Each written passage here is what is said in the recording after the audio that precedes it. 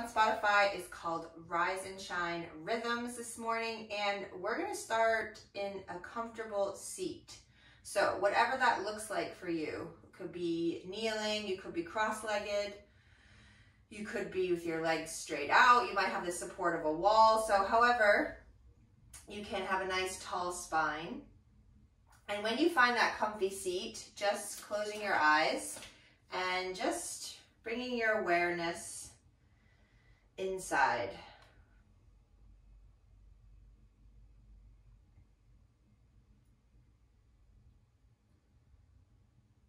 So this morning, this practice, we're focusing on our internal rhythms. And we have three of those. We have our uh, breath and also the beat of the heart and the rhythm of our brain waves. And when we can affect one of those rhythms, so when we manipulate the breath, then we also can impact the heart and slow down the brain waves, become a little more present. So just take this moment of awareness to just explore your rhythms now, the pace of the breath, listening for the sound of your heartbeat, and just noticing what's going on with your thoughts, your brain activity. And when we bring this awareness in, it's really just to be a witness. It's not to pass a judgment. So maybe your mind is busy. You don't have to try and change it. But just notice what you notice.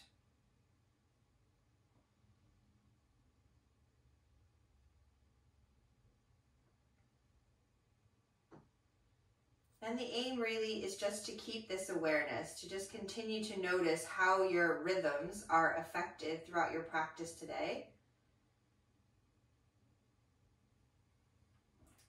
So just having one more moment here to really connect to the breath, connecting to your heart, just really feeling that deep connection to your inner rhythms.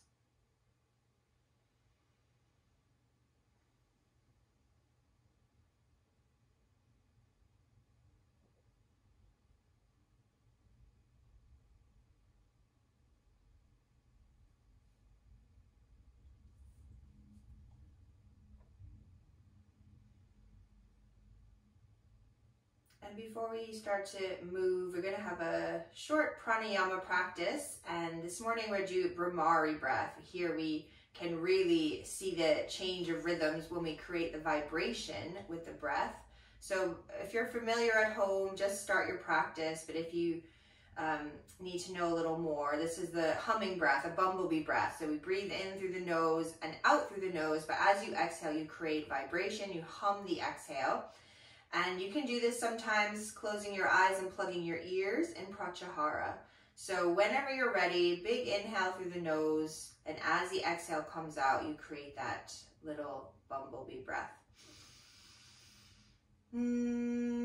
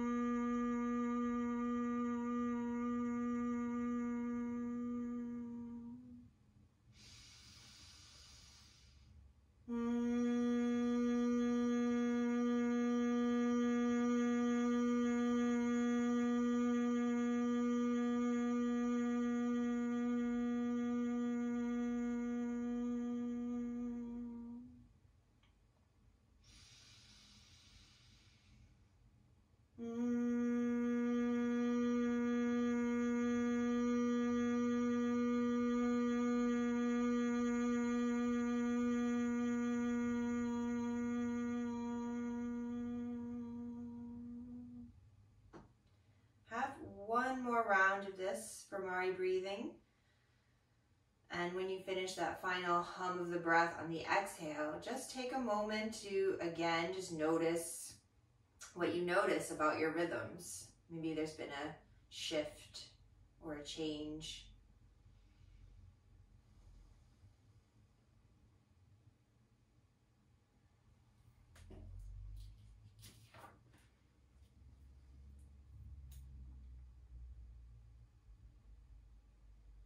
And then when you're ready, just gonna start to slowly flutter your eyes open, letting them stay down, looking towards the mat as they adjust to the light in your space. And if you're not on your knees, just bring yourself onto your knees, sitting back to the heels, and just gonna bring your palms together in front of the heart. And as you breathe in, we're gonna come up to a high kneel and reach your arms up to the ceiling. And as you breathe out, just have a bow down so we can bring the palms and the forehead towards the mat. And then as you breathe in, we're gonna rise back up again. And as you breathe out this time, take your hips to the right and you're gonna bring your hands to the left and then sink yourself back down. And let the hips reach away from the hands, but the hands really glued to the floor. So we get a couple breaths here, stretching the right side.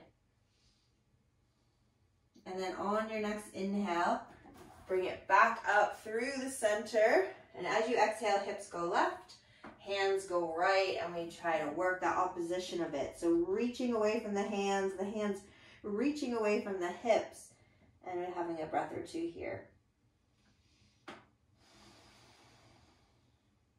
Next inhale, bring yourself back up to that high kneel, and your palms are going to meet and then as you exhale, bowing down again until your palms find the mat. Straighten your arms and come into an all four position. So your knees are underneath your hips and your wrists under your shoulders. I'm just gonna pull the heart forward and tilt the sit bones up. So one little cow stretch.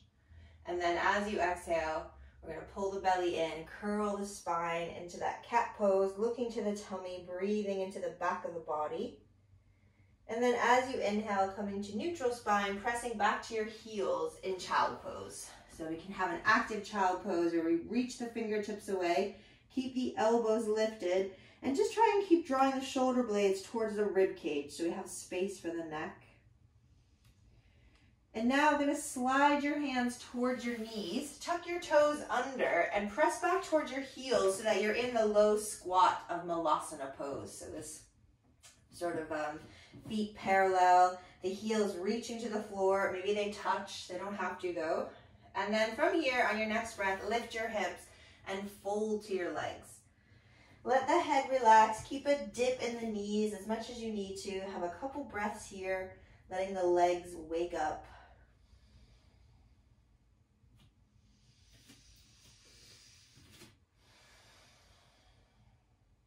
And then when you inhale, push up through the feet and rise up to stand. Let your palms meet overhead. Exhale, bring your hands back to your heart and walk your way forward to the front of your mat. And then inhale, reach up nice and tall again. Exhale, dive down to the legs. And with your next breath, take a giant step back with your right foot. So you're coming to low lunge. We're gonna bring the knee to the mat as well and lift the heart lengthen through the front of the body and the back of the body here. And then plant the hands, lift the hips, press back, downward facing dog. From down dog, let's just ripple forward into plank. So just bring your shoulders over your wrists. Maybe the feet have to slide away. Keep those shoulders spread across the back. Pull the belly up.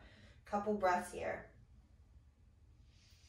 and then lower yourself down. So knees can always touch first, elbows bend. We try and keep the collarbone wide. And then draw those shoulders off the neck as you curl up into cobra. Strong legs and belly. And then exhale your way back again. Downward facing dog.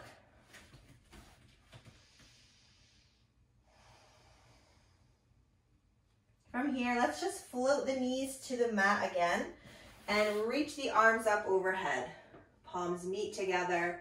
And as you exhale, let your hips go right and your hands go left again. And then next breath, we're gonna rise back up, take it the other way. Hips go to the left, hands go to the right.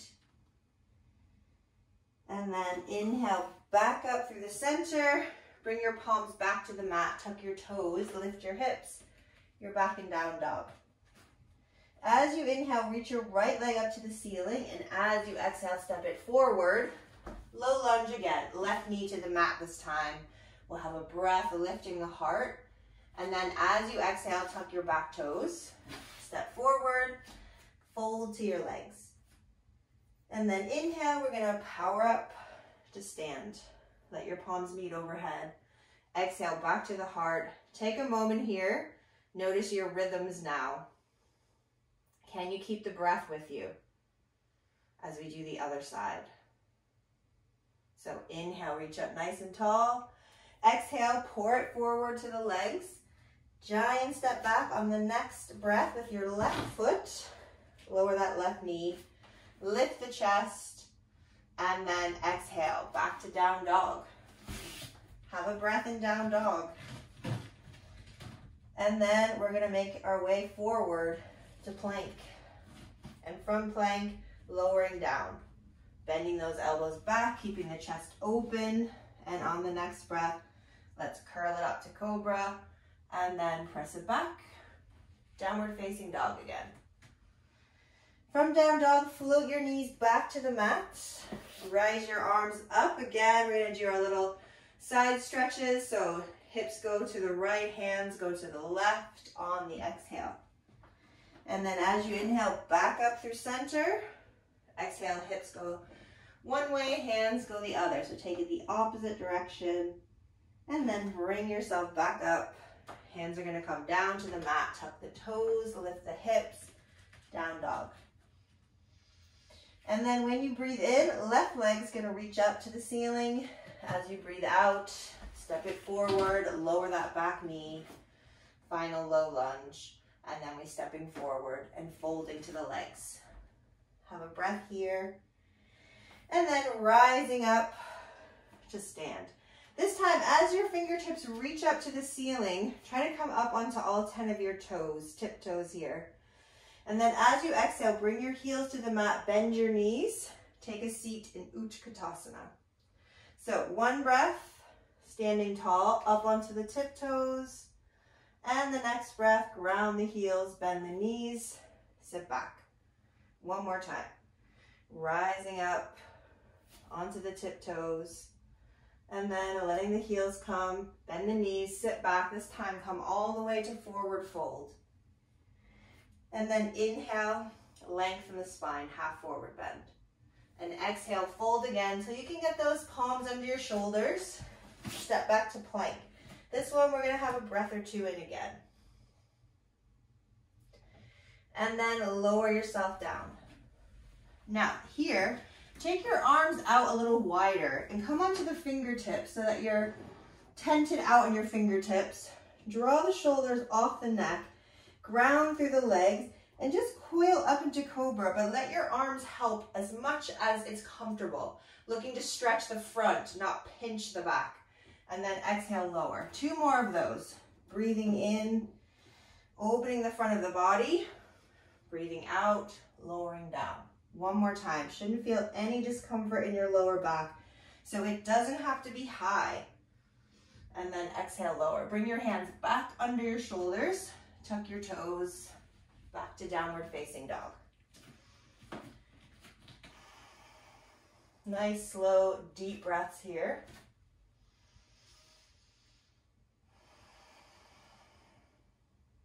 As you breathe in, reach your right leg up to the ceiling as you breathe out, giant step forward.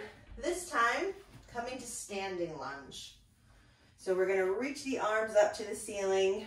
We keep pulling through that back heel, staying up on the tiptoes if you can, bending into that front knee.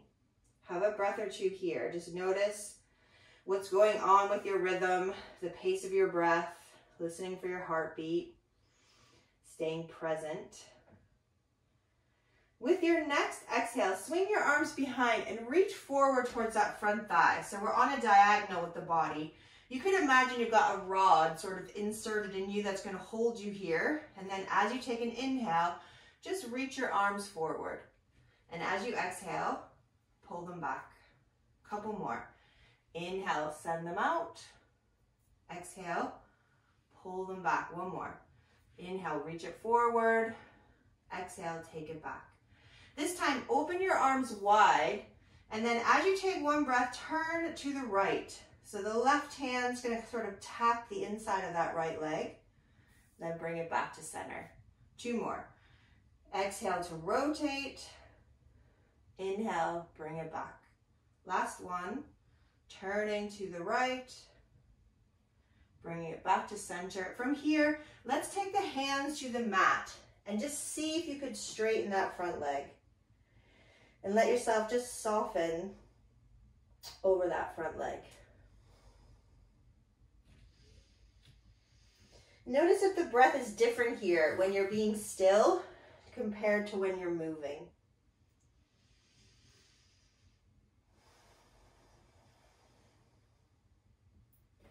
Now, left hand's gonna stay on the mat, and we're gonna start to turn to the right and open that right arm. If you don't feel possible for the shoulder, just take your right hand to your hip. So this is a, a revolved triangle. Try and pull that right hip back and draw that left hip forward so the twist moves, the pelvis moves the twist. That we don't do it the opposite way. We don't want to keep the pelvis still. And you can stay right here breathing. Or maybe you want to lift that back leg. The left hand can come a little further forward to lift the left leg. Keep that rotation. And then when you take your next breath, lower the back leg. Spin yourself to stand into a reverse warrior. So we turn that back foot round to face the long edge and we side bend away from that front thigh. Then we're gonna bring ourselves to warrior two and turn the front foot also to the long edge of the mat. Bring your arms behind you, interlace your fingers, squeeze your shoulders together, forward bend between the legs. Try to keep the shoulders off the neck. So it might not be your deepest forward bend, but try to prioritize the upper back muscles pulling or holding even the shoulders where they should be, which isn't suffocating your neck. Now release your fingertips, float your hands to the floor, spin your way back to the front of the mat. Step back to plank and lower yourself down from plank. And here, just bring your arms down by the sides of your body with your palms turning into the mat. So the palms are pressing the floor. And really try to spread that collarbone. Engage the legs, engage the belly, and then inhale, just a little float of the heart in locust. Keep the gaze down, the neck long, and then lower yourself down. Bring your hands back under your shoulders. Press back, downward facing dog. Couple breaths here. You might prefer a child pose instead. Both will give you that length of the spine and the opportunity to rest for a moment and catch the breath.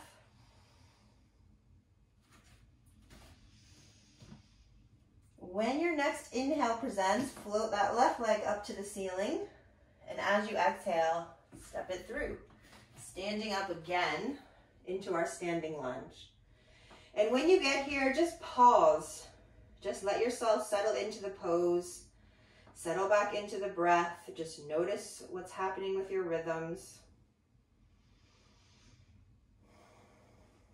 And then we're going to swing the arms and dive forward. Lengthen the heart out. Try and keep that collarbone wide all the time, even as you swing the arms. Forward and then back. Two more. One breath takes the arms out and the next brings it back. One more time. This time, take your arms out wide like wings. And as you exhale, turn to the left. You might tap the leg with the right hand. Bring it back to center. Two more like that. Keep yourself on this sort of diagonal with the body. Imagine you've got a little rod holding you here, but really you're holding yourself from your belly. Last time we twist, we're gonna come back we're gonna bring the hands down to the mat.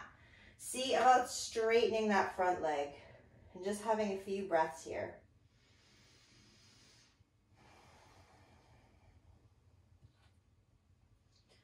We're gonna do our modified revolve triangle. It's modified because we're not worrying too much about the sort of foundation, not foundation, but the alignment principles of it. I want you just to find the twist however is comfortable in your body as you open up that left arm. So we let the pelvis kind of swing around to facilitate that twist. Doesn't matter if your back heel touches, just let yourself be breathing and connecting to your rhythms and not worrying about the quote unquote perfect pose here. Now, option to balance. So we can lift the back leg up. I think bringing the right arm a little further forward helps that happen. So we can kick out that right leg. Having a few breaths here. And then we're gonna lower the right leg, spin the heel in, sweep yourself up, reverse warrior. Find my balance. Couple breaths here. And then bring it back to warrior two with your arms out and we're gonna rotate the other foot. So we're facing the long edge of the mat, legs are wide, bring your arms behind again, draw the shoulders together and coming forward. Doesn't have to be your deepest forward bend, just try to not let the shoulders kind of fall forward which is easy to do because it's just gravity, isn't it? They want to come down with you, but you want to hold them off.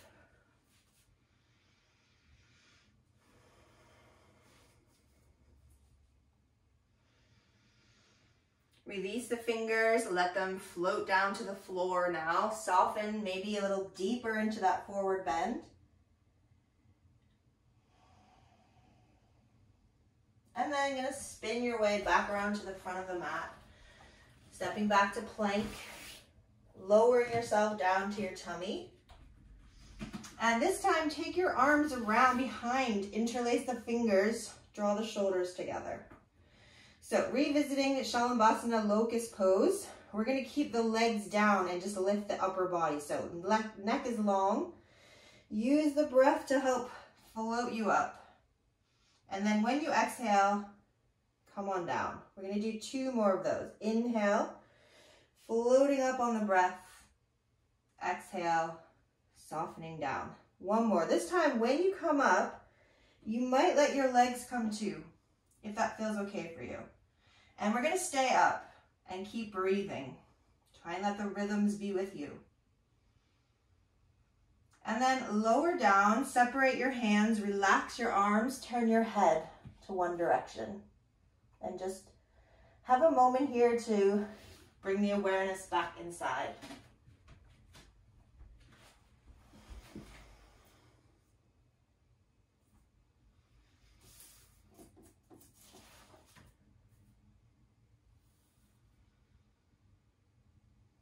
Your head, turn it the other way now.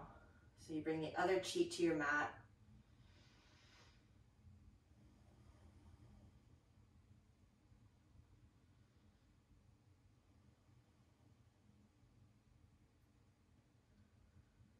And then bring your head back to center, your hands underneath your shoulders. Press back to down dog or child pose, whichever one is more comfortable for your body.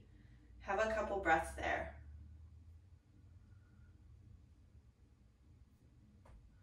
And then make your way to sit, however you'd like to. So if you're in child pose, you might just sit up. If you're in down dog, float the knees. We're gonna come to the sit bone. So you could cross the ankles, send the legs out. And we're gonna take the legs out as wide as comfortable. Try not to let yourself kind of lean back here, but sit up nice and tall so you really find the sit bones. You might even have to remove some of the fleshy bit there to find them. Often if you kind of pull back the flesh, then you can really ground down through the bones. Now, we're gonna fold the right knee in. So bend your right knee, take your right foot to your left inner thigh. But we still have this straddle with the legs. Left arm come around to that right thigh, and the right arm is gonna reach up. And then side bend to the left. Try to keep anchored through both your legs. And just letting yourself breathe here. Holding yourself with the strength of the legs, softening into the pose through the breath.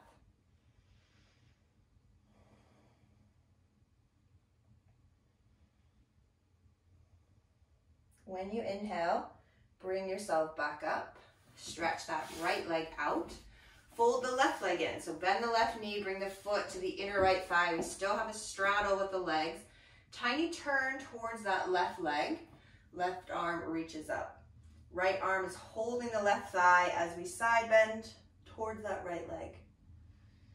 Again, trying to really ground through the legs. If you have tight hips and your knee is high, a block under there, helpful. I should have said that on the first side. Apologies.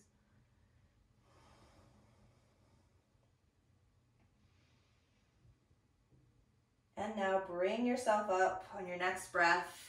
Extend the left leg out again. And just bring yourself forward. So same idea. The more we can anchor through the legs and sort of flex the toes towards the body, then we have the freedom to just reach the upper body out. But we want to soften on the breath. So the more you struggle in a pose, the less far you're going to get. But when you can surrender to it and just find the breath, you might surprise yourself. Your body might surprise you.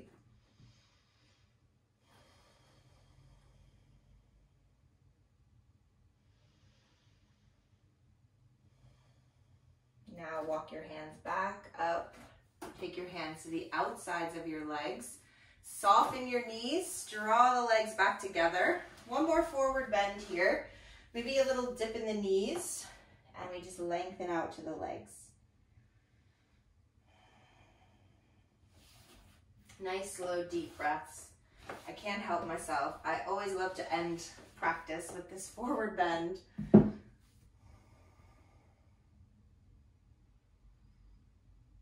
When you're ready, slowly coming up, you might like to grab something warm, an extra layer, and then lie yourself down on your back to rest the body. When you bring your body down to the mat, just allow your awareness to go inside. Once again, just feeling the sensations arise. Feeling the breath, just breathing the body here. Hearing the rhythm of your heartbeat. And just noticing the passing of brain waves.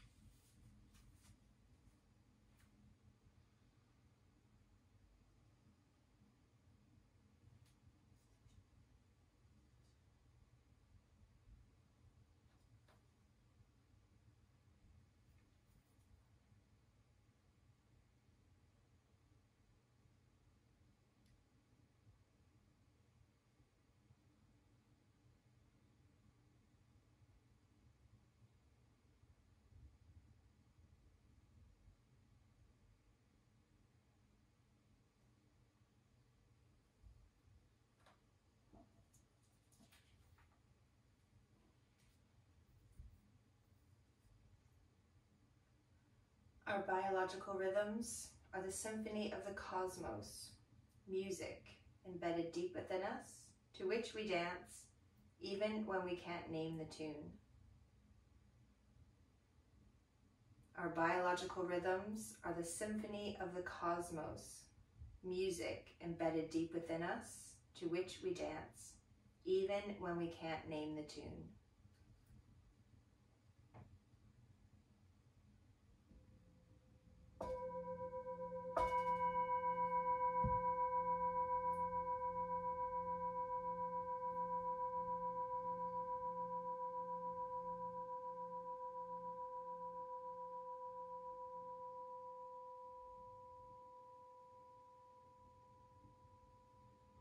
You can, just keep the awareness inside and rest a little longer. But if you're ready to come back, then slowly, slowly, just becoming aware of sensations outside of you. Deeper breaths, gentle movements. In time, bringing the body over to the right side. And when you feel ready, opening of the eyes here, and in time coming up to sit. So I thank you all. Namaste.